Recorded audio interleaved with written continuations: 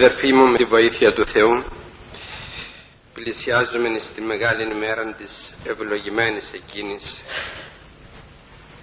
επισκέψεως του Θεού προς τον κόσμο ότε ήλθε το πλήρωμα του χρόνου απέστειλε ο Θεός τον Υιόν αυτού γενόμενον εκ γυναικός γενόμενον υπονόμου ή να τους υπονόμων εξαγοράσει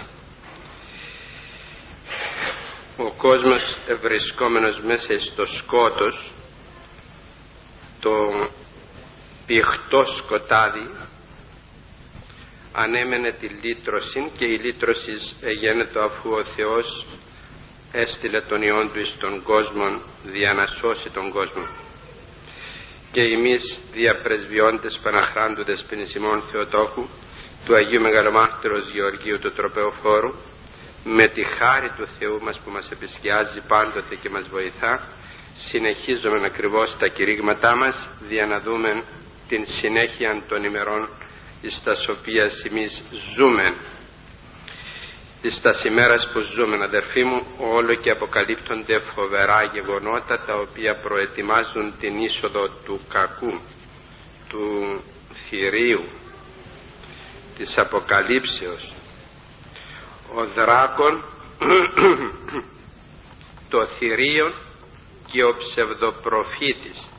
Τρία πρόσωπα όπως η Αγία Τριάς τα έχουμε πει άλλωστε και όταν μιλούσαμε περί Αντιχρίστου και πότε δεν μιλούμε πάντοτε μιλούμε μιλούσαμε και είπαμε όπως είναι ο Θεός έτσι είναι ο Αντίχριστος όπως είναι ο Χριστός έτσι ο Αντίχριστος.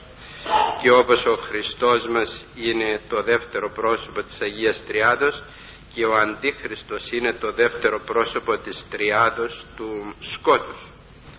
Το πρώτο πρόσωπο είναι ο δράκον δηλαδή ο αρχηγός της κολάσεως.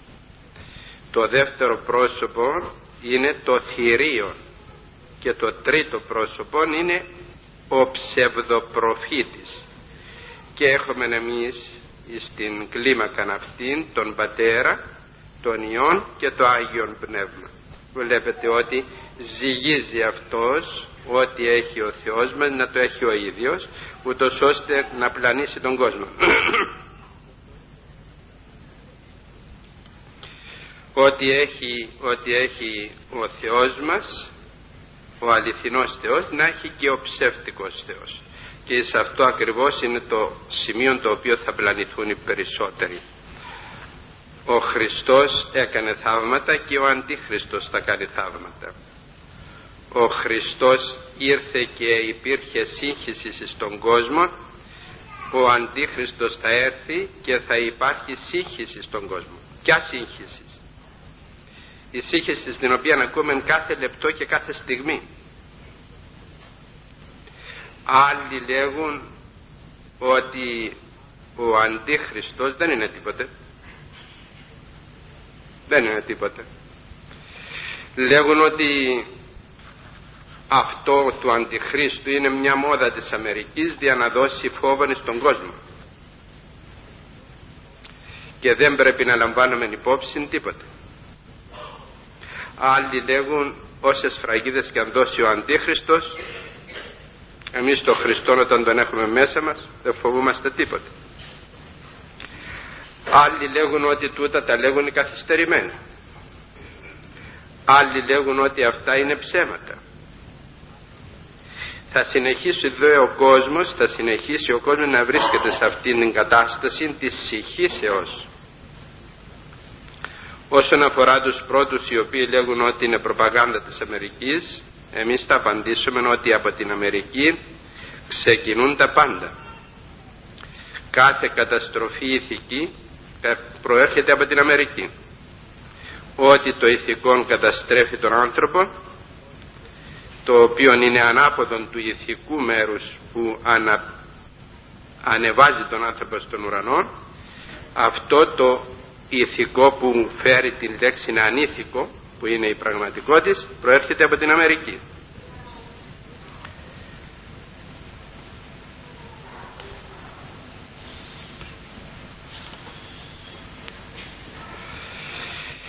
Και αυτό θα ήθελα να σας παρακαλέσω πάρα πολύ να το προσέξουμε τούτο ότι από την Αμερική θα προέρχονται οι σφραγίδες από την Αμερική προέρχονται τα computers από την Αμερική προέρχονται τα πάντα. Από την Αμερική είναι ο πανθεϊσμός, από εκεί αρχίζουν όλες οι καταστάσεις, από εκεί θα δοξάζεται ο Θεός και θα υμνείται από τους Ορθοδόξους και δίπλα από τους Ορθοδόξους θα είναι ο Βούδας και δίπλα από τον Βούδα θα είναι ο Βραχμάνος και δίπλα από τον Βραχμάνο θα είναι ο Ινδουιστής και ούτω καθεξής. Από την Αμερική λοιπόν αυτοί οι οποίοι λέγουν ότι προπαγανδίζει από εκεί θα έρθει και η κατάσταση η οποία ονομάζεται και νέα εποχή. Το σύνθημα νέα εποχή από εκεί πηγάζει. Μια νέα εποχή. Ποια νέα εποχή, η εποχή του Αντιχρίστου. Ε, για εκείνους οι οποίοι λέγουν όσες φραγίδες και αν πάρουμε δεν φοβούμαστε διότι εμείς τον Χριστό τον έχουμε μέσα μας δεν είναι έτσι η Αποκάλυψης δεν λέγει για εκείνους που έχουν τον Χριστό μέσα τους να πάρουν τη σφραγίδα.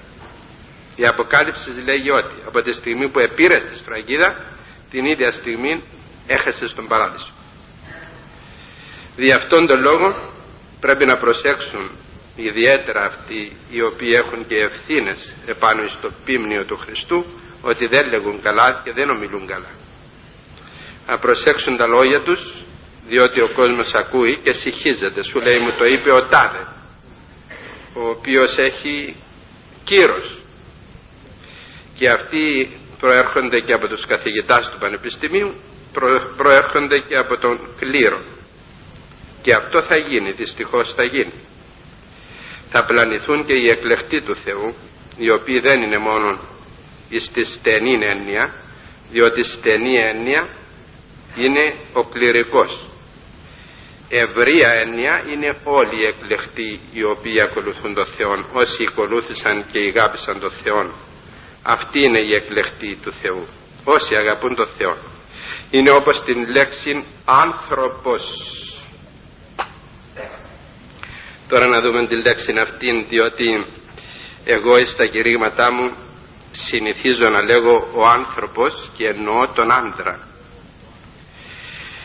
Και πολλοί λέγουν τώρα τι λέγει ο πατήρ Σάβας.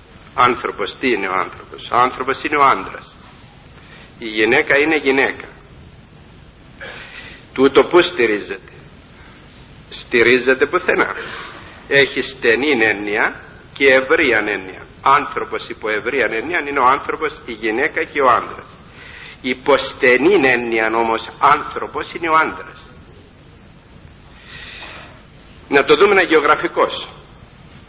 Όταν ο Θεός θέλησε να πλάσει τον κόσμο, τι είπε; Ποιήσουμε άνθρωπον άνθρωπο. Και ποιον άνθρωπον έπλασε; Έπλασε τη γυναίκα, δεν την έπλασε. Έπλασε τον άντρα, τον Αδάμ μετά ύπνωσε τον Αδάμ και έπλασε τη γυναίκα διότι είδε τον άνθρωπο ότι ου καλό μόνο τον άνθρωπο είναι επί της γης λέγει ο Θεός ότι δεν είναι καλό τον, τον άνθρωπο να τον έχουμε μόνο του πάνω στη γη τον άντρα δηλαδή πως δεν είναι έννοια. Δεν, δεν είναι καλό λέγει ο άνθρωπος ο άντρας δηλαδή να είναι μόνος του. Ποιήσαμε λέγει σύντροφο και τον απεκοίμησε και έπλασε εξ αυτού του ανθρώπου δηλαδή του ανδρός την γυναίκα την έβαλε Φεύγουμε από εκεί να δούμε πάλι εν στενή εννοία των άνθρωπων, των άντρα δηλαδή. Όταν ο Κύριος μας εισήλθε στον Πιλάτων και τον υπέβαλε στα μαρτύρια, δεν τον έβγαλε στον εξώστην και είπε στον κόσμο, είδε ο άνθρωπος. Τι, τι, τι σημαίνει τούτο, τον άντρα, τον, τον Θεόν άντρα, τον Θεόν άνθρωπον, τον Θεόν άνθρωπον. Βέβαια τούτα είναι τα σημεία τα οποία ε, πολλοί οι οποίοι δεν έρχονται στα κηρύγματα ψηλαφούν τι θα έβρουν για να εμπέξουν τη σύζυγο η οποία έρχεται στα κηρύγματα. Και τις λέγουν να ο πατήρ Σαββαστή σου λέει δεν είσαι άνθρωπος. Εις αυτά ακριβώς τα σημεία πρέπει να είμαι θα προσεκτικοί διότι εμείς δεν λέγουμε τίποτε βέβαια αντιρρήμη του λόγου πολλά λάθη κάνουμε. Δεν είμαι θα αλάθητη διότι ο Πάπας μόνον διεκδικεί το αλάθητο. Εμείς θα κάνουμε και λάθη θα πούμε και λέξεις οι οποίες δεν πρέπει να τις πούμε. Αλλά πάντοτε με τον φόβο του Θεού και πάντοτε με την έννοια η οποία έχει και υπάρχει στο Ευαγγέλιο ο άνθρωπος αυτό το άγνωστο το οποίο έγραψε και ο Καρέλ ένα ωραιότατο βιβλίο ο άνθρωπος αυτό είναι εν ευρία έννοια άνθρωπος και γυναίκα. Έπειτα και ο Διογέννης στην παλαιά εποχή πρωτού έρθει ο Χριστός πήρε το φανάρι και γύριζε μέσα στις πλατείες και τους δρόμους τούτου του αμαρτωλού τόπου που λέγεται Αθήνα, παλαιά Αθήνα, πρώτη Αθήνα. Και τον είδαν με το φανάρι να γυρίζει τους δρόμους και του λέγουν τι ζητάς, ζητώ άνθρωπο εν ευρία έννοια είτε γυναίκα είτε άνθρωπος. Αλλά η λέξη άνθρωπος έχει στενή έννοια και ευρία έννοια και φεύγουμε και από αυτό το θέμα για να έρθουμε να δούμε ότι οι άνθρωποι οι οποίοι ομιλούν οι υπεύθυνοι άνθρωποι που ομιλούν περί της φραγίδος του Αντιχρίστου πρέπει να είναι ιδιαίτερα προσεκτικοί διότι η σφραγίδα του Αντιχρίστου δεν χωρεί τίποτε μέσα ή μη μόνον ότι είναι σφραγής του Αντιχρίστου. Και άπαξ και την επήρες έχασε στον παράδεισο άπαξ και την επήρε στη σφραγίδα του Αντιχρίστου έχασε τον Χριστόν και πήρε τον Αντίχριστο. Δι' αυτό να μην καυχούνται εκείνοι οι οποίοι λέγουν ότι εγώ το Χριστό τον έχω μέσα μου και ας γεμίσω από πάνω μέχρι κάτω σφραγίδες του Αντιχρίστου εμένα δεν με ενδιαφέρει. Αυτά θα τα πούν πολλοί οι κοιλιόδουλοι. Αύριο όταν τα τρόφιμα θα είναι σφραγισμένα με την σφραγίδα του Αντιχρίστου αυτοί θα λέγουν εγώ να φάγω και τι με ενδιαφέρει εγώ το Χριστό τον έχω μέσα μου δεν είναι έτσι. Όταν δεις επάνω στα τρόφιμα και έχει τη σφραγίδα ή τα φορέματα που φορείς ή τα παπούτσια διότι αύριο εντός ολίγου χρονικού διαστήματος αυτό που λέγουμε τώρα θα γίνει, θα γίνει φανερό. Θα είναι φανερό πλέον. Θα, θα, είναι, θα το γνωρίζει θα το βλέπει ο κόσμος πλέον. Δεν θα είναι κάτι το κρυφό και βλέπετε ότι αυτή τη στιγμή τα πάντα οδηγούνται προς την ένωση της ανθρωπότητος για να δυνηθεί ο Αντίχριστος να κυβερνήσει τον κόσμο. Θα δώσει δε στον κόσμο αβεβαιότητα οικονομική το χρήμα. Θα το παιδέψει πολύ ο Αντίχριστος. Πάνω στο χρήμα διότι η γη, η γη αυτή τη στιγμή εάν προσέξετε στα τηλεοράσεις βάζουν μια σκηνή που λέγεται χρηματιστήριο. Θα δείτε εκεί μέσα ανθρώπους εξάλλους δηλαδή κάτω στο φρενοκομείο έχουν πιο μεγαλύτερη τάξη από εκεί. Ο ένας να χτυπά, ο άλλος να φωνάζει, ο άλλος να κινεί τα χέρια του, ο άλλος να τρέχει, ο άλλος δηλαδή μέσα σε μια κατάσταση και διαιρωτάται ο άνθρωπος, Θεέ μου, τούτοι οι άνθρωποι δεν σκέφτονται για τον άλλο κόσμο. Άλλος κόσμος για αυτούς δεν υπάρχει. Μια κατάσταση η οποία ακριβώς σε φέρνει σε απελπισία. Εάν σκεφτείς για λίγο και πεις μα αυτοί οι άνθρωποι δεν σκέφτονται τίποτε τίποτε άλλο ή μη μόνο αυτό το χρήμα αυτός ο άνθρωπος έγινε φιλάργυρος τόσο πολύ ούτως ώστε εγκατέλειψε και τον Θεόν εγκατέλειψε και τα ιδανικά του εγκατέλειψε και τα πάντα δεν τον ενδιαφέρει για τίποτε άλλο ή μη μόνο για το χρήμα αυτό το χρήμα θα το φέρει σε τέτοια κατάσταση ο Αντίχριστος ούτως ώστε όλος ο κόσμος θα ζητεί σωτηρία και θα ευρεθεί αυτός ως ο απομηχανής Θεός. Και θα παρουσιαστεί αυτός ως ο άνθρωπος ο οποίος θα κρατήσει τον κόσμο δια να μην, να μην χαθεί. Και όλος ο κόσμος επειδή θα είναι αυτός τύπος και υπογραμμός σας είπα και άλλοτε θα είναι ο ηθικός κατά κόσμο. Ο κόσμος θα το βλέπει ως το ύψης των σημείων της ηθικής ζωής. θα είναι ο άνθρωπος που θα απονεί το συνάνθρωπο του θα είναι ο άνθρωπος ο οποίος θα βλέπει τους αδικημένους και θα τους συντρέχει θα συμπαρίσταται θα βλέπει τις χείρες και τα ορφανά και θα είναι ο υπερασπιστής των θα βλέπει τους ασθενείς και θα συμπαραστέκεται στους ασθενείς. Θα είναι ο άνθρωπος ο οποίος συν το χρόνο θα κάνει θαύματα. Θα είναι ο άνθρωπος ο οποίος θα μετακινεί όροι σας τα λέγω αδερφοί μου και προσέξετε τα διότι είναι πράγματα τα οποία θα τα δούμε αν εμείς τα δούμε. Διότι υπάρχει πάντοτε και το εάν εάν είμαι θα εμείς αν δεν είμαι θα εμείς θα είναι άλλοι ύστερα από εμάς. Όταν ο κόσμος θα βλέπει αυτό το πρόσωπο να κάνει όλα αυτά όλος ο κόσμος θα τον ακολουθήσει. Προσέξετε μη πλανηθείτε είπε ο Θεός. Εσείς λέγει προσέξετε μη πλανηθείτε διότι όλα αυτά θα γίνουν. Ακουέ πολέμων πίνες αρρώσκες σεισμοί καταποντισμοί. Τώρα αυτή τη στιγμή αυτή τη στιγμή που μιλούμε υπάρχει η απειλή ενός πολέμου ο οποίος πόλεμος απειλεί να καταστρέψει τον κόσμο ολόκληρο. Μέσα στην Αγία Γραφή υπάρχει κάτι τέτοιο. Ποιο είναι; Είναι η φράση εκείνη η οποία ονομάζεται πόλεμος του Αρμαγεδόνος. Είναι αγιογραφικό.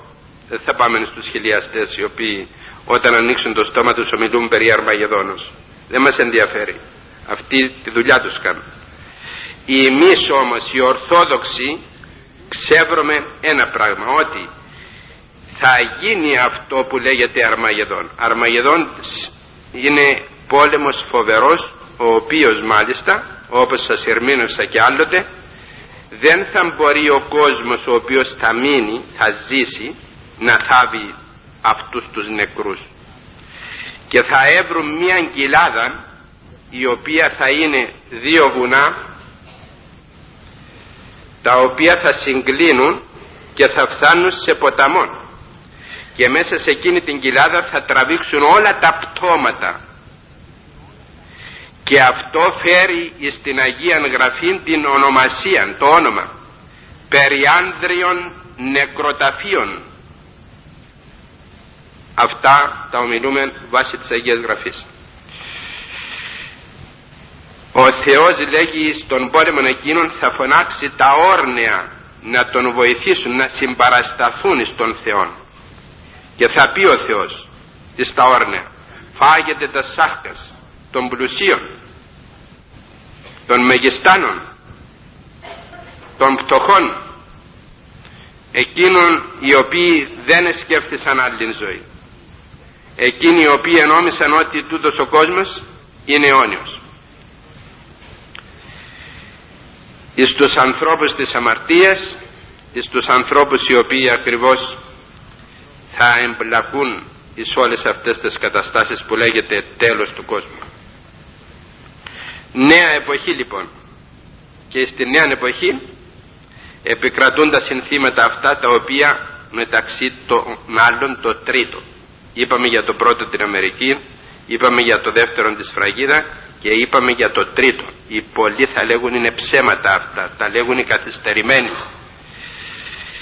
Δεν τα λέγουν οι καθυστερημένοι αλλά τα λέγουν οι χριστιανοί οι οποίοι διαβάζουν το Ευαγγέλιο αυτοί οι οποίοι ακριβώς μας λέγουν καθυστερημένους σας είπα ότι είναι το σύνθημα της νέας εποχής και μας ονομάζουν παλαιοντολογικά ευρήματα. Δεινόσαυροι λέγει που μεγαλώνει το σώμα τους και μικραίνει η κεφαλή τους και χάνεται το μυαλό τους. Έτσι μας λέγουν. Δι' αυτόν τον λόγο εμείς θα προχωρήσουμε τον δρόμο μας αδερφοί μου και θα είμαι θα έτοιμοι να αντιμετωπίσουμε αυτά τα οποία έρχονται με μία στάση. Την στάση της μη παρεκκλήσεως από τον δρόμο μας. Να μην βγούμε από τον δρόμο μας. Σας είπα ότι αυτή η νέα εποχή έχει αρχηγούς αυτούς οι οποίοι φέρουν το όνομα υδροχοιστές και αυτοί οι υδροχοιστές οι οποίοι πιστεύουν στα ζώδια και τα σημεία του ουρανού δίδουν ακριβώς και το σύνθημα της ηγεσίας στον κόσμο και φέρουν συνεχώς στα χείλη τους τη λέξη νέα εποχή. Οι τηλεοράσεις, οι εφημερίδες, οι διαφημίσεις, τα φορέματα, τα παπούτσια, τα τρόφιμα και όλα φέρουν το σύνθημα τούτο που λέγεται νέα εποχή.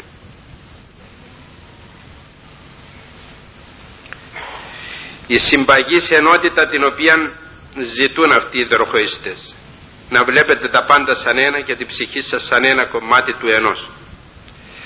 Μέχρι να επιτευχθεί αυτό, να επιτευχθεί αυτό ο άνθρωπος διέρχεται κατά ανάγκη και αναποδράστος από ένα συνεχή κύκλο με τενσαρκώσεων. Σας το είπα κι άλλοτε τι θα πει με τενσάρκωσης. Με τενσάρκωση σημαίνει ο άνθρωπος όταν αποθάνει για εκείνους που πιστεύουν στη μετεσάρκωση, όχι για μας. Εμείς το λέγουμε για να είμαι θα προσεκτικοί εκείνοι που πιστεύουν στη μετενσάρκωση είναι οι άνθρωποι εκείνοι οι οποίοι πιστεύουν όταν αποθάνουν η ψυχή τους μεταβαίνει σε ένα ζώο σε ένα ζώο στην Αγγλία περισσότερο πιστεύουν ότι μπαίνει στους σκύλους και στα γαϊδούρια όπως σας είπα άλλοτε. Μέσα εις αυτήν ακριβώς την μετενσάρκωση οι Άγγλοι έχουν ένα τεράστιο ρεύμα οπαδών της μετανσαρκώσεως και μετά όταν ο γάτος ή ο σκύλος ή το γαϊδούρι ή το πτηνό διότι πιστεύουν και στα πτηνά στους παπαγάλους στα καρδερίνια και τα λοιπά. Όταν για αυτά αποθάνουν τότε η ψυχή θα μεταβεί κάπου αλλού μέχρι που φτάνουν στο σημείο οι οπαδοί της μετενσαρκώσεως και λέγουν ότι η ψυχή φτάνει και σε μια ψήρα. Γιατί κάνει όλον αυτόν τον κύκλο τον οποίο ονομάζουν σαμψάρα. Σαμψαρίζει η ψυχή λέγουν. Σαμψαρίζει τι σημαίνει; Όταν πεθάνει λέγει ο άνθρωπος είναι αμαρτωλός. Και η ψυχή του δεν καθαρίζει αν δεν πάει από τόπο σε τόπο. Από τόπο σε τόπο. Εις αυτό έπεσαν και οι καθολικοί και είπαν περί του καθαρτηρίου πυρός καθαρτήριον πυρ μπαίνει δηλαδή η ψυχή σε ένα τόπο στην οποία, στον οποίο τόπο θα καθαρίσει λέγει και από εκεί θα μπει στον παράδεισο δεν ομιλούν περί του μυστηρίου της μετανοίας και εξομολογήσεως. Δεν αναγνωρίζουν το μέγα μυστήριο της μετανοίας, το οποίο ενώνει τον αμαρτωλόν άνθρωπο με τον Θεό. Δεν το πιστεύουν αυτό. Και στο σημείο τούτο ακριβώς οι οπαδοί της μετεσαρκώσεως εμφανίζονται και τώρα για να πάρουν περισσότερον κόσμο με το σύνθημα ότι όλος ο κόσμος πρέπει να γίνει ένα. Αλλά πίσω από τη φράση αυτή ότι πρέπει να γίνει ένα βασιλεύει ο Αντίχριστος ο Υιός της Ανομίας. Διότι αν δεν ενωθεί ο κόσμος δεν θα μπορέσει αυτός ο κακούργος να κυβερνήσει τον κόσμο διότι όλος ο κόσμος θα τον έχει αυτόν αρχηγό πάρεξ, παρεχτός δηλαδή των οπαδών του Χριστού οι οποίοι δεν θα τον ακολουθήσουν. Θα υποστούν τα μαρτύρια. Και τα μαρτύρια αυτά είναι εκείνα τα οποία θα λάμπουν στην Βασιλεία των Ουρανών ως Στέφανος μοναδικός. Όσοι λέγει η Αγία Γραφή και οι πατέρες της Εκκλησίας θα μαρτυρήσουν στην περίοδο του Αντιχρίστου ο Στέφανος τον οποίον ετοιμάζει ο Θεός δι' αυτούς λέγει θα είναι μοναδικός στον παράδεισο δεν θα υπάρχει άλλος Στέφανος λέγει όπως τον Στέφανο τον οποίον θα λάβουν οι μάρτυρες επί Αντιχρίστου. Ευλογημένος αδερφοί μου και τρεις ευτυχισμένος ο άνθρωπος ο οποίος θα αντέξει όποιοι θα μείνουν. Θα αντέξει στα σημέρα εκείνας.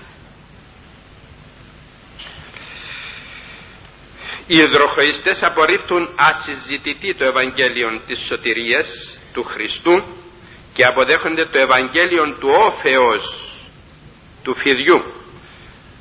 Ποιο είναι το φίδι, περί τίνος φιδιού ομιλούν. Για το φίδι το οποίο επλάνησε τον Αδάμ και την Εύαν στον παράδεισο. Ενθυμηθείτε ότι εκεί το φίδι ομίλησε περί άλλου Ευαγγελίου όχι για το Ευαγγέλιο που ομίλησε ο Χριστός. Ο Χριστός ομίλησε περί Ευαγγελίου υποταγής του ανθρώπου. Ο Όφης ομίλησε περί Ευαγγελίου παρακοής εις τον άνθρωπο. Και ο άνθρωπος εισπάστη, ηγάπησε δηλαδή, προτίμησε το φίδι. Και εξ αυτού του σημείου προήλθε και η τιμωρία του ανθρώπου ο οποίος έπεσε εκ του παραδείσου στην κοιλάδα αυτήν του κλαθμόνος των δακρύων και του πόνου που ονομάζεται γη. Πάνω σε αυτήν την γη έπεσε ο άνθρωπος διότι παρήκουσεν το Ευαγγέλιο του Θεού και εισπάστη το Ευαγγέλιο του Όφεως. Αυτό το Ευαγγέλιο το αποδέχονται οι υδροχοιστές σήμερα Ομιλούν δε περί απολυτρώσεως αυτοσωτηρίας αυτοθεώσεως. Δηλαδή ο άνθρωπος μπορεί να σωθεί μόνος του μπορεί να, μπορεί, λέγει, να λυτρωθεί μόνος του μπορεί να γίνει Θεός μόνος του. Δεν έχει ανάγκη τον Θεό ούτε την Εκκλησία ούτε το Ευαγγέλιο ούτε τα κηρύγματα. Δεν έχει καμία ανάγκη λέει ο άνθρωπος μπορεί μόνος του να σωθεί. Δεν ακούει την φωνή του Θεού αυτός ο τύπος του ανθρώπου ο οποίος φωνάζει και λέγει ότι χωρίς εμού ούδη να στεπίνου δε δεν το ακούει αυτό. Και κηρύττει ότι ο άνθρωπος θα ζήσει θα ευτυχήσει θα λυτρωθεί θα γίνει Θεός μόνος του. Αυτά τα έδωκε ο αρχαίος όφης ο διάβολος στους πρωτοπλάστους.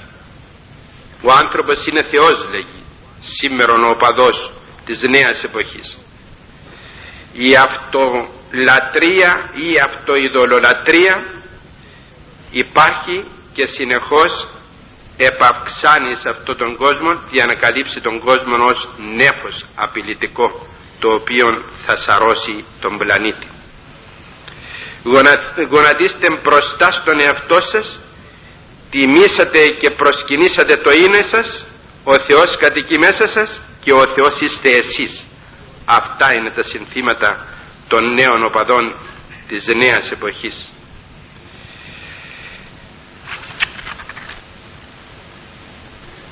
Το να αγαπάς τον εαυτό σου είναι η μεγαλύτερη αγάπη από όλες. Άλλο σύνθημα αυτών. Και συνεχίζει και λέγει Είμαι συνδημιουργός του Θεού και οι καινοί ουρανοί έρχονται καθώς η καλή θέληση του Θεού εκφράζεται στη γη διεμού του Εωσφόρου. Αληθινά είμαι ο Χριστός φωνάζει ο Εωσφόρος. Είμαι ο Χριστός του Θεού είμαι το φως του κόσμου. Και τώρα από το φως του κόσμου η μία παρουσία και δύναμη του σύμπαντος απαντά. Βλέπω τη σωτηρία του πλανήτη εμπρός μου καθώς όλες οι ψευδείς πίστης και όλα τα πλανεμένα υποδείγματα διαλύονται. Όλα θα διαλυθούν λέγουν αυτοί οι οπαδοί της νέας εποχής. Θα μείνει μόνον το εγώ του ανθρώπου, ο άνθρωπος ο οποίος θα γίνει Θεός μόνος του.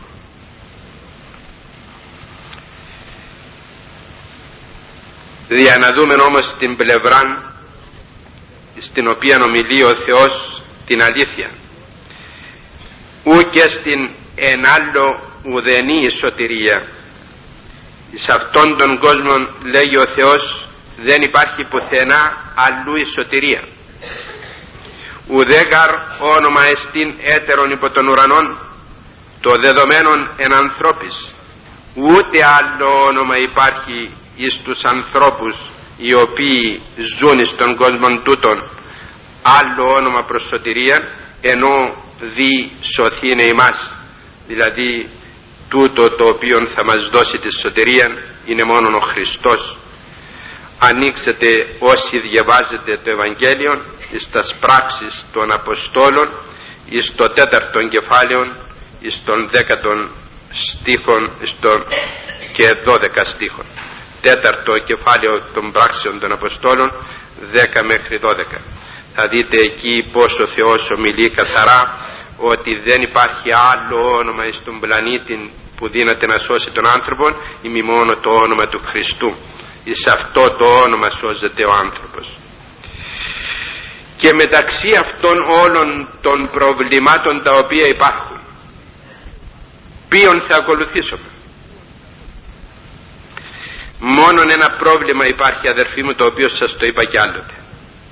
Το πρόβλημα ή να είσαι με τον Χριστόν ή να είσαι εναντίον του Χριστού. Ή να είσαι με τον Χριστόν ή με τον Αντίχριστον. Τρίτος δρόμος δεν υπάρχει. Αυτό είναι το μεγαλύτερο πρόβλημα το οποίο απασχολεί σήμερα τον άνθρωπο.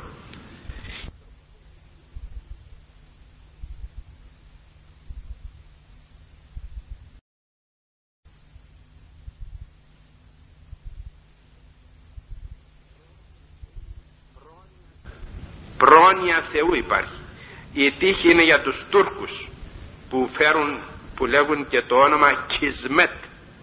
Κισμέτ. Δι' αυτών των λόγων οι χριστιανοί ποτέ δεν ομιλούν περί τύχης. Λέγει η τύχη σου δεν ήταν καλή δεν υπάρχει στους χριστιανούς η λέξη αυτή. Η τύχη σου σου τα έφερε δεν είναι σωστό. Εμείς γνωρίζουμε ένα πράγμα ότι τρίχα από την κεφαλή μας δεν πέφτει χωρίς το θέλημα του Θεού. Τούτο πρέπει να το γνωρίζουμε χωρίς το θέλημα του Θεού δεν πέφτει ούτε μία τρίχα από την κεφαλή μας. Και εις ό,τι μας συμβεί στον κόσμο τούτον αδερφοί μου πρέπει εμείς να δοξάζουμε τον Θεό πάντοτε. Χαρά έχεις αδερφέ μου. Δόξαζε τον Θεό λύπην έχεις δόξαζε τον Θεό ασθένεια έχεις δόξαζε τον Θεόν. Θάνατον έχεις δόξαζε τον Θεόν αδικίες και κατατρεγμούς και συκοφαντίες δόξαζε τον Θεόν αυτό είναι του χριστιανού το καθήκον απέναντι του Θεού. Και ήθελα αδερφοί μου τούτο ιδιαίτερα να το προσέξουμε σε όλη μας τη ζωή. Ποτέ σας μη βαρυγκομίσετε ό,τι κι αν συμβεί στη ζωή μας. Δοξάζετε πάντοτε τον Θεό. Ό,τι και αν έρθει στη ζωή σας το πιο δυσάρεστο το πιο σκληρό το πιο φοβερό πράγμα δοξάζετε τον Θεό τότε θα δείτε ότι η νίκη θα είναι μαζί σας. Έτσι νικούμε τον αρχαίο κακον διάβολο. Διότι ο διάβολος περιμένει τη στιγμή που θα βαρυγκομίσουμε στον Θεό που θα πούμε τη λέξη γιατί Θεέ μου εκείνη τη στιγμή αυτός έχει γίνει τόσο δυνατός που προχωρεί πιο βαθιά μες στη ψυχή μας για να μας την πιάσει. Όταν ανοίξεις το στόμα σου και πεις τη λέξη γιατί Θεέ μου τη στιγμή εκείνη να έχει κυριαρχήσει πλέον ο διάβολος και έχει πάρει πολλούς πόντους. Ξέρετε τώρα βλέπετε στις, στις, στους αθλητικούς αγώνες που γίνονται υπάρχει και μια ομάδα που βάζει την μπάλα μέσα σε ένα καλάθι. Εκείνη τη στιγμή να απαντά δύο πόντους έναν πόντο, τρεις πόντους. Εκείνο σημαίνει νίκη του διαβόλου. Όταν μπούμε γιατί Θεέ μου έπιασε τρεις πόντους. Το μεγαλύτερο. Έπιασε, έχει γιγαντώσει. Γι' αυτό ονομάζεται και βούτυγμα στην κόλαση. Από τη στιγμή που θα πεις γιατί Θεέ μου έπεσες μέσα στην κόλαση. Γι' αυτό σας παρακαλώ πάρα πολύ προσέξτε τούτα τα πράγματα διότι είναι σημαντικά και δεν τα ακούμε καθημερινώς. Το πρόβλημα λοιπόν θα μείνουμε με το Θεό ή θα είμαι θα εναντίον του Θεού. Να ακούσουμε τι λέγει ένας πατέρας της Εκκλησίας από τους τελευταίους, τους συγχρόνους, Άγιος άνθρωπος, ο οποίος φέρει το όνομα Αρχιμανδρίτης Ιουστίνος Πόποβιτς όσοι τον, όσοι τον ακούν, όσοι έχουν ακούσει το όνομα του. Ακούστε εις τούτο τι λέγει αυτός ο Άγιος άνθρωπος. Στην πραγματικότητα όλες οι ιδεολογίες δίνονται να συνοψιστούν εις δύο είδη. Εις εκείνας όπου είναι υπέρ του Χριστού μια πλευρά ιδεολογιών οι οποίοι αγαπούν τον Θεό και εις εκείνας οι οποίες είναι υπέρ του Αντιχρίστου. δύο όχθες δηλαδή η μία όχθη στο Χριστό η άλλη όχθη στον Αντίχριστο στο τέλος τέλος ο άνθρωπος ευρίσκεται σε αυτόν τον κόσμο για να λύσει εν και μοναδικό πρόβλημα. Δηλαδή ζούμε σε αυτόν τον κόσμο για να λύσουμε ένα πρόβλημα λέγει αυτός ο Άγιος άνθρωπος. Εάν είναι υπέρ του Χριστού ή κατά του Χριστού. Εις αυτός ζούμε. Δεν έχουμε τίποτε άλλο να διαλέξουμε. Είσαι με τον Χριστό ή εναντίον του Χριστού και όντως κάθε άνθρωπος θέλοντας και μη μόνον με αυτό απασχολείται. Λύει δηλαδή αυτό το πρόβλημα αυτό το, το οποίο ονομάζεται παμπρόβλημα δηλαδή το μεγαλύτερο πρόβλημα της ζωής του ανθρώπου. Και κάθε ένας από εμάς ή είναι φιλόχριστος ή είναι χριστομάχος. Είσαι με τον Χριστό δηλαδή ή εναντίον του Χριστού τρίτον δεν υπάρχει λέγει αυτός ο Άγιος άνθρωπος. Μάλιστα ο άνθρωπος ή είναι Χριστολάτρης λατρεύει τον Χριστόν ή είναι δαίμονολάτρης και λατρεύει τον δαίμονα τρίτον δεν υπάρχει. Εις αυτήν ακριβώς την νέα εποχή αδερφοί μου η σατανολατρία και οι δαιμονικές εμπειρίες είναι καθημερινές. Τώρα εξεκίνησε μια ομάδα από την Αμερική και θέλουν να φτάσουν στην Αγγλία μάγοι για να προτρέψουν τον κόσμο λέγει να μισήσει τον πόλεμο να είναι εναντίον του πολέμου διότι σε αυτόν τον πόλεμο λέγουν θα καταστραφεί όλη η ανθρωπότητα οι μάγοι τώρα ομιλούν οι μάγοι. Ομιλεί δηλαδή ο διάβολος και ο διάβολος έρχεται αυτή τη στιγμή να γίνει κήρυκας μιας θεωρίας η οποία θεωρία είναι μόνο δι' εκείνους οι οποίοι είναι κοντά στον Θεό. Δηλαδή οι άνθρωποι οι οποίοι είναι κοντά στον Θεό ποτέ δεν θέλουν αυτές τις καταστροφές και αυτούς τους πολέμους.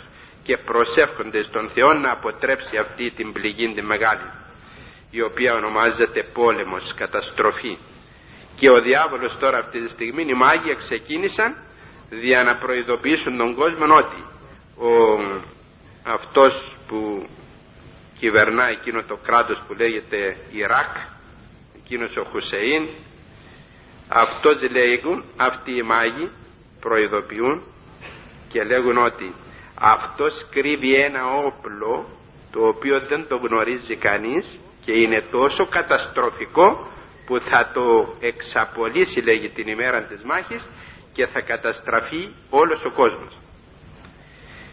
Αυτές οι απειλές βέβαια προέρχονται από τον διάβολο. Μπορεί να είναι και αληθινές. Δεν το γνωρίζουμε. Πάντως καταστροφή φοβερή θα γίνει και αυτό δεν ξέρουμε πόσον θα κρατήσει. Και εις που θα φτάσει. Εις ποιο σημείο θα φτάσει.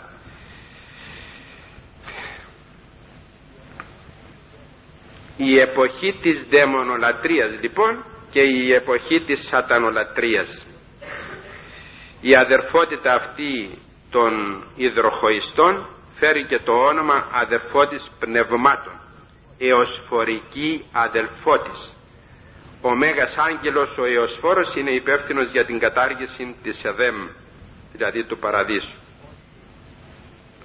ώστε να δυνηθεί ο άνθρωπος να αρχίσει την οδόν της πνευματικής αναπτύξεως. Λέγουν αυτοί ότι τώρα είσαι έτοιμος λέγει να κάνεις μια, έναν άλλον παράδεισο, να κάνεις μια άλλη πνευματική ζωή και μέσα σε αυτήν την ζωή θα έχεις αρχηγόν τον εωσφόρο.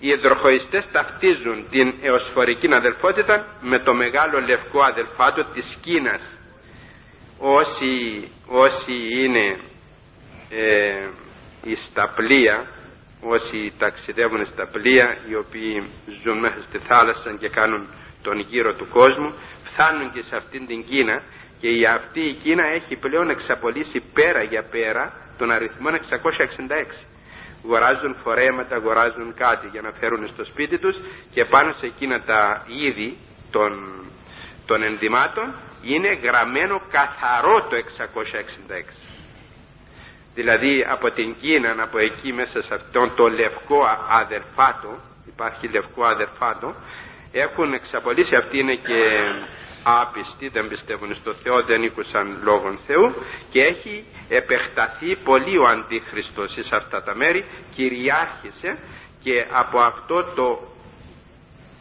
το πολυπληθέστατο έθνος του κόσμου, από αυτό θα εκραγούν πολλά κακά. Ξέρετε ότι έχει φτάσει το 1 δισεκατομμύριο 130 εκατομμύρια κόσμος στην Κίνα και λέγουν ότι αν ή το δυνατόν και έβαζαν μία πύλη και έβαζαν αυτό τον κόσμο να περάσει ένας ένας από μέσα σε εκείνη την πύλη έως ότου να περάσουν ένας ένας θα επαυξάνουν το άλλοι τόσοι θα γίνουν το άλλοι τόσοι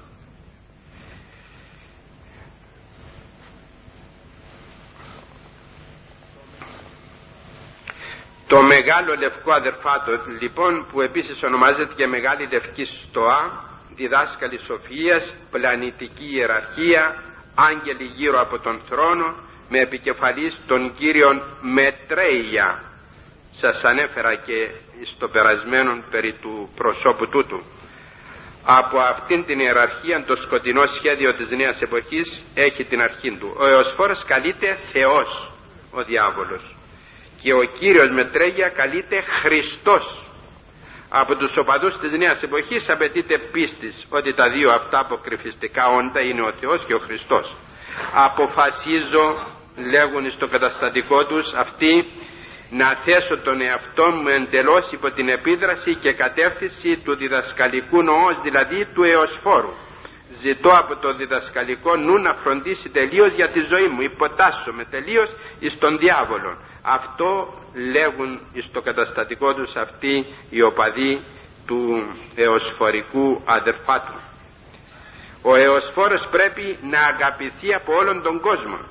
Και βλέπετε αυτή τη στιγμή δεν είναι και μακριά από εμάς από την Ελλάδα μας αυτή η μόδα. Και βλέπουμε τα παιδιά μας αδερφοί μου να αντίνονται όπως ο διάβολος. Όταν φορούν εκείνα τα πέτσινα τα μαύρα από πάνω μέχρι κάτω και στις εορτές του χριστιανισμού δηλαδή την καθαρά Δευτέρα βλέπουμε τους γονείς δυστυχώς να ντύνουν τα παιδάκια τους και να τα παρομοιάζουν με διάβολο, με κέρατα και με ουρές και να τα κρατούν με υπερηφάνεια να γυρίζουν στους δρόμους. Αυτό είναι ένα από τα μεγαλύτερα κακά τα οποία έχει η Ελλάδα μας.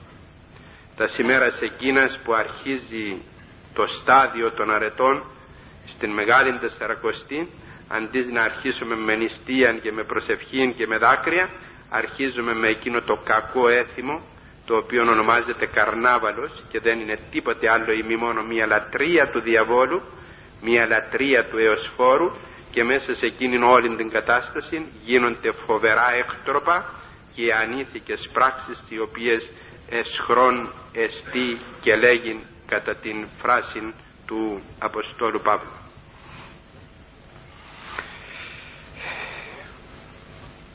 Το συγκρότημα ροκ της μουσικής που κυριάρχησε την δεκαετία του 70 είχε να αφιερώσει πολυαρίθμους ύμνους των σατανά ένας από αυτούς είναι και ο δίσκος «Συμπάθεια για τον διάβολο» που έγινε ο επαναστατικός ύμνος της σατανικής θρησκείας. Είχαμε μιλήσει για τη ροκ, τη μουσική και θα επανέλθουμε σε αυτό διότι έχουμε και άλλες μαρτυρίες φοβερότερες από εκείνες που είπαμε αδερφοί μου και θα τις αναφέρομαι σε ένα άλλο κήρυγμα. Εωσφορική μοίηση, το φως που μας δείχνει το δρόμο προς το Χριστόν των υδροχοιστών έρχεται από τον εωσφόρο που είναι ο μεγάλος μοιητής αυτός που οδηγεί τον κόσμο κοντά του που τον μοιεί τον κόσμο ο, ο Εωσφόρος έρχεται για να μας δώσει την τελευταία εωσφορική μοίηση την οποία θα δεχθούν πολλοί στα σημέρα που, που μας περιμένουν διότι είναι μια πρόκληση στη νέα εποχή θα δούμε τώρα ορισμένα σημεία τα οποία αναφέρουν αυτοί οι αρχηγοί των εωσφοριστών, οι σατανολάτρες δηλαδή. Ο εωσφόρος λέγουν ο Εωσφόρος, ο σατανάς λέγουν και διακηρύττουν δράς τον κάθε έναν από εμάς με σκοπό να μας εισαγάγει σε μια κατάσταση τελειότητος. Δηλαδή έρχεται ο διάβολος να οδηγήσει τον άνθρωπο στην τελειότητα. Είναι δυνατό ποτέ ένας πυρομανής να οδηγήσει το δάσος στην ανάπτυξή του. Θα του βάλει φωτιά και θα το κάψει. Αυτός διότι η μανία του είναι να βάζει φωτιά. Ονομάζεται και πυρομανής. Έχει μανία για την φωτιά ο διάβολος λέγουν ο οποίος μας καίει και θα καίει τους αμαρτωλούς αιωνίως λέγουν ότι αυτός θα οδηγήσει τον άνθρωπο στην τελειότητα δηλαδή να τον βάλει στον παράδεισο ποιον παράδεισο θα βάλει ο διάβολος τον άνθρωπο στην κόλαση θα τον βάλει αν εισέλθουμε σε μια νέα εποχή, την εποχή της τελειότητας του άνθρωπου, θα φτάσει ο καθένας από εμάς σε κάποιο τρόπο, με κάποιο τρόπο, στο σημείο που εγώ χαρακτηρίζω σαν εωσφορική μοίηση, λέγει ο αρχηγός. Αυτή είναι η ιδιαίτερη πύλη εισόδου, η πύλη του εωσφόρου, όχι η πύλη του Χριστού που λέγει εισέλθετε δια της στενής πύλης, αλλά η πύλη, η πλατεία, η οποία οδηγεί στην κόλαση αυτή είναι η ιδιαίτερη πύλη που πρέπει να περάσει το άτομο για να φτάσει στην παρουσία του φωτός και της τελειότητος του. Για να γίνει τέλειος πρέπει να περάσεις από την πύλη του Εωσφόρου. Ερθέ Εωσφόρε, ερθέ 666. Και συνεχίζει ο αρχιερεύς των σατανιστών και ψάλει αυτά. Δόξα εις τον σατανάν και εις τον βελίαν και εις όλα τα πονηρά πνεύματα η ομίγυρης η οποία ακούει αυτόν τον αρχηγόν απαντά αυτά γίνονται και στην Αθήνα αδερφοί μου. Γίνονται σατανολατρίες την δωδεκάτη με, μεσονυχ, μεσονύχτιον ώρα. Δώδεκα έως η ώρα τρεις τα μεσάνυχτα και από η ώρα δύο ως η ώρα πέντε μετά τα μεσάνυχτα γίνονται σατανολατρίες στην Ελλάδα και θυσιάζονται αδερφοί μου βρέφει βρέφει και αυτά τα βρέφη τα αγοράζουν από τις κλινικές τις γι, γι, γυναικολογικές κλινικές από τα γυναικολογικά κλινικά εκεί που πηγαίνουν και κάνουν εκτρώσεις στα τέκνα των Ελλήνων. Τα πιάνουν οι σατανολάτρες και τα θυσιάζουν αυτά στον νεοσφόρο. Με αίμα και από νεκρούς και από κατσίκια και από πετινούς και από τραγιά και από πεθαμένους και από άνδρες και από γυναίκες και κάνουν σατανολατρία λατρείαν εις τον σατανά τας μεσονυχτίους ώρας εναντίον των ανθρώπων οι οποίοι δέχονται την εκδίκησή των και την κακία των εχθρεύονται ένα πλάσμα κάνουν αυτά τα πράγματα τα οποία σας είπα γυμνώνονται, μένουν ολόγυμνοι ανάβουν μαύρα κεριά βάζουν θυμίαμα και κάνουν α, άρρητα ρήματα ανήθικες πράξεις οι οποίες δεν λέγονται. Αυτά τα θέλει ο διάβολος για να κάνει το θέλημά τους να τους υπηρετήσει. Διότι αν ο διάβολος δεν πάρει δεν εκτελεί αυτό το οποίο τους ζητούν του λέγει θα σου κάνω τούτο αλλά να μου κάνεις τούτο και το πρώτο το οποίο κάνουν αυτοί οι σατανολάτρες είναι να υπογράψουν στον διάβολο ότι υποτάσσονται στο θέλημά του αρνούνται το βάπτισμα αρνούνται τον Χριστόν αρνούνται την Εκκλησία αρνούνται το, τα μυστήρια τα επτά της Εκκλησίας αρνούνται το σύμβολο της πίστεως αρνούνται ό,τι υπάρχει στην Εκκλησία του Χριστού και υποτάσσονται στον διάβολο και τότε τότε ο διάβολος αφού του δώσουν υπογραφή τούτα που σας λέγω έγιναν οι εξομολογήσεις μάγων οι οποίοι ήρθαν και εξομολογήθησαν. Και μου είπαν ότι ήρθε ο διάβολος και μου έδωσε λέει ο διάβολος μπροστά μου λέει μιλούσαμε μαζί λέει. Ήρθεν και μου έδωσε χαρτίν και του έβαλα υπογραφή αυτά σας τα λέω αδερφοί μου όχι από, από άλλα χέρια δηλαδή μου τα είπε κάποιος. Άνθρωπος ο οποίος ήταν μάγος και ήρθε και εξομολογήθηκε και μου είπε αυτά τα πράγματα. Και εγώ σας τα λέγω για να έχετε υπόψη σας περί τίνος πρόκειται διότι έχουμε φτάσει σε μια εποχή σατανολατρίας τα πάντα κάτω από την λατρεία του σατανά. Η μαγεία έχει τόσο πολύ πληθυνθεί ούτως ώστε σας είπα και άλλοτε ότι ο Αντίχριστος θα στηριχθεί επάνω στη μαγεία. Μόνον δια της μαγείας θα κατακτήσει τον κόσμο ο Αντίχριστος. Γι' αυτό βλέπουμε σήμερα μέσα στην Αμερική υπάρχουν διαφημίσεις και στην τηλεόραση έρχονται και εδώ δυστυχώς. Θα αρχίσουν και εδώ. Εδώ ε, εκείνο το βιβλίο που λέγεται Σολομονική πωλείται σε όλα τα βιβλιοπολία των Αθηνών και τα πιάνουν τα παιδιά μας και πηγαίνουν στα σχολεία και για να αρχίσουν να πειράζει ο ένας τον άλλο διαβάζουν εκείνα και έρχονται διαβόλοι και σαταν, σατανοκρατούνται τα παιδιά μας και έρχονται δαιμονισμένα στην εκκλησία. Βέβαια το να έρθουν στην εκκλησία είναι ευλογία Θεού, θα σωθούν, αλλά φεύγουν στους μάγους για να λύσουν μάγια. Οπότε ο διάβολος ριζώνει περισσότερο και είναι τούτο ακριβώς το οποίο όχι σας λέγω απλώς μας εξίωσε ο Πανάγαθος Θεός και το εγγράψαμε σε βιβλίο για να το δείτε και το διαβάσετε με προσοχή. Οι σατανιστές λοιπόν και ο αρχηγός στη σατανολατρίας φωνάζει εκείνος τα μεν και απαντούν αυτοί η ομίγυρης λέγει το σατανιστόν απαντά. Τι απαντά; Όπως είπε στην αρχή είναι και τώρα ο, ο διάβολος. Και θα είναι και στον αιώνα αμήν. Απαντούν οι σατανολάτρες αυτοί οι οποίοι αγαπούν τον σατανά. Ο, αρχι, ο αρχιερεύς λέγει τους δίδει το σύνθημα και τους στέλνει τον διάβολο να είναι μαζί τους και εκείνοι απαντούν και μαζί σου εσένα όπως λέμε εμείς όπως ο ιερεύς έρχεται και λέγει στον κόσμο ειρήνη πάση και απαντά ο ιεροψάχτης και μετά του πνεύματός σου το ίδιο κάνουν και αυτοί. Εκείνοι οι οποίοι είναι κάτω και τον ακολουθούν και τον ακούν τον μέγαν αρχιερέα του σατανά εκείνος τους δίδει ευλογία κατά κάποιον τρόπο ευλογία τους δίδει ευλογία και τους λέγει ο διάβολος να είναι μαζί τους και απαντούν και εκείνοι και μαζί σου εσένα. Και έτσι γίνεται ανταπόδοση της ευχής αυτής. Οι τρόποι που χρησιμοποιούνται από τους οπαδούς της νέας εποχής για να επικοινωνήσουμε τα πονηρά πνεύματα είναι ποικίλοι. Για να δούμε τώρα εις το σημείο προσέξτε ιδιαίτερα να δούμε πως διαδίδονται διαδίδεται ο διάβολος στον κόσμο.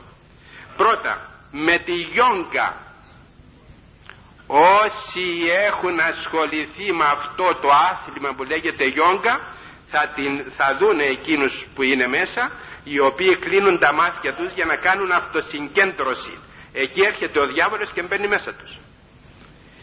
Θα προσέξουν πολύ οι γονείς οι οποίοι έχουν παιδιά και φεύγουν σε αυτό το, σε αυτό το μέρος.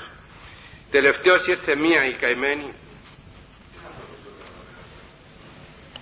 ήρθε μία ε, μητέρα η οποία ε, έχει ένα παιδί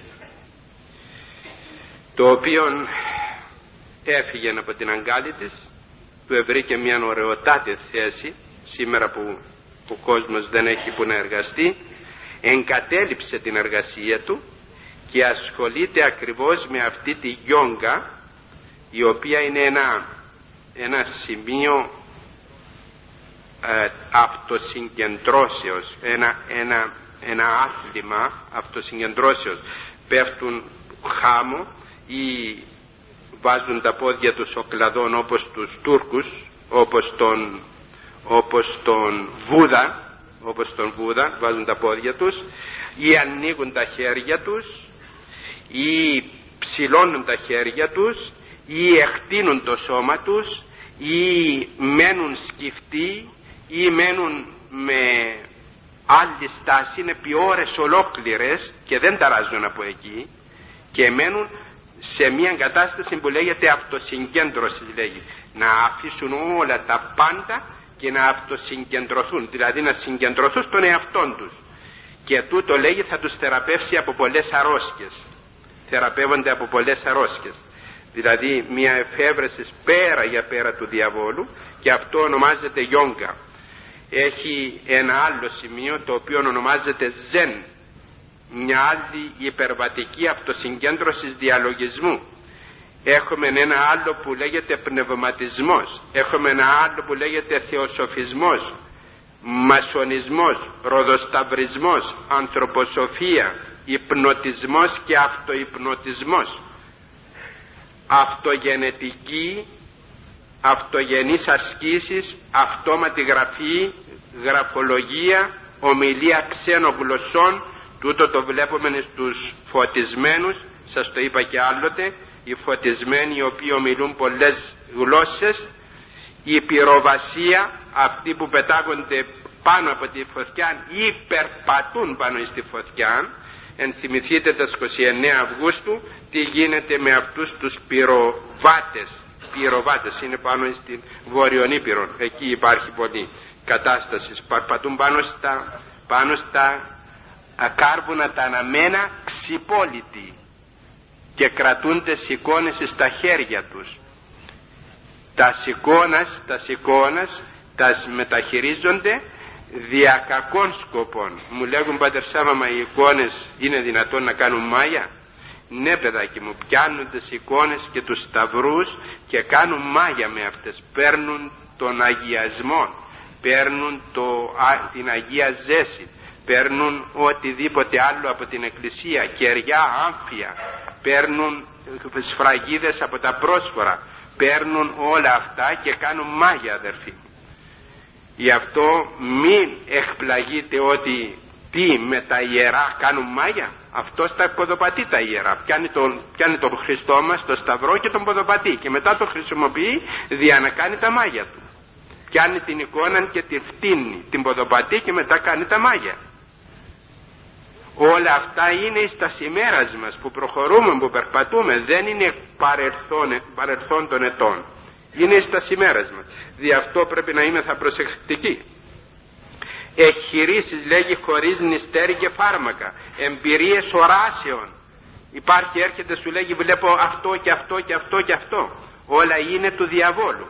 Αστρολογία, ουφολογία λευκή και μαύρη μαγεία διαμεσότης, μέντιουμ, ψυχομετρία, όνειρομαντία, καθρεπτομαντία, κρυσταλλομαντία, χαρτομαντία, χειρομαντία, καφεμαντία, νεκρομαντία, αυγομαντία, ραβδοσκοπία και εκρεμές, σεξουαλική μαγεία, σατανισμός, σουφισμός, μπαχαϊσμός, σαμπουτ, τσουτσάιτσι, βουντού, σατανολατρία, κάθε μορφή παραψυχολογίας, υπερπροσική ψυχολογία, ανθρωπιστική ή διαπροσωπική ψυχολογία, ναρκωτικά και ούτω καθεξής.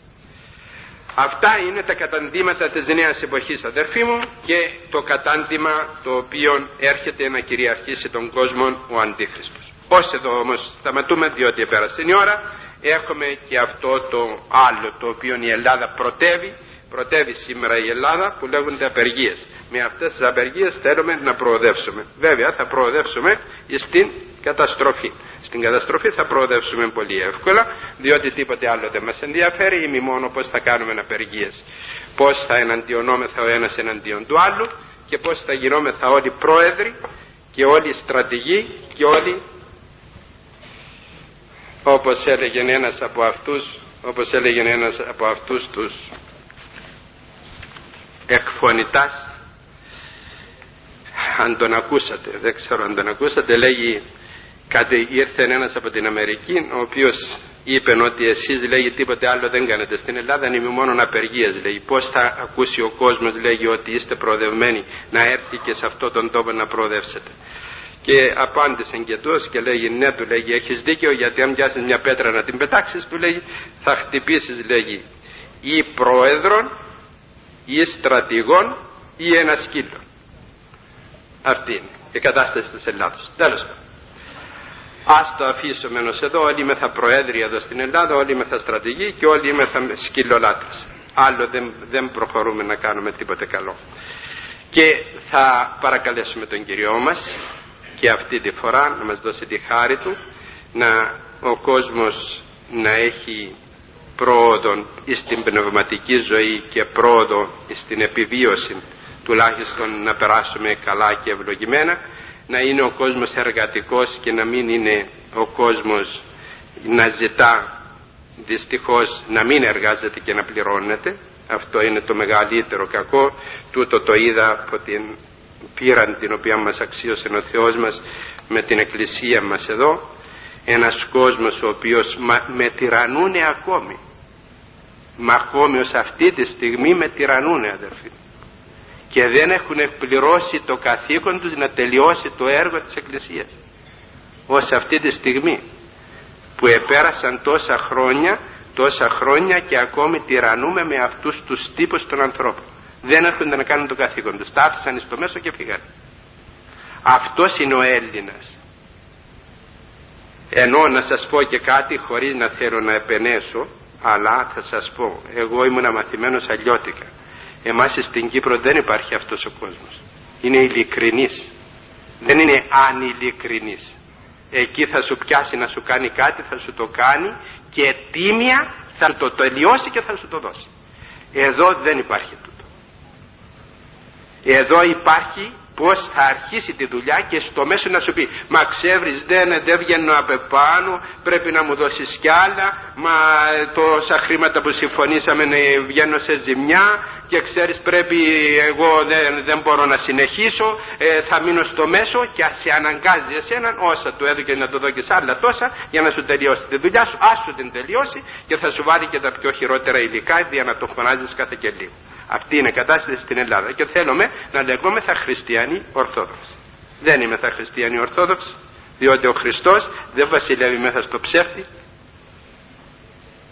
αυτή είναι η κατάσταση στην οποία έχουμε. Ήρθε ο Παναγαθός Θεός να δώσει τη φώτισή του, να υπάρχουν άνθρωποι εργατικοί, να υπάρχουν άνθρωποι με ειλικρίνεια, να υπάρχουν άνθρωποι οι οποίοι να θέλουν το καλό τούτου του τόπου που ονομάζεται Ελλάδα και να μας αξιώσει διαπρεσβιόντες Παναχράντου Δεσποινής Σιμών Θεοτόκου και Παρθένου Μαρίας να ζήσουμε ευλογημένοι στον κόσμο τούτο και στην Εμπουράνιον Βασιλεία να γίνουμε κληρονόμοι. Αμήν.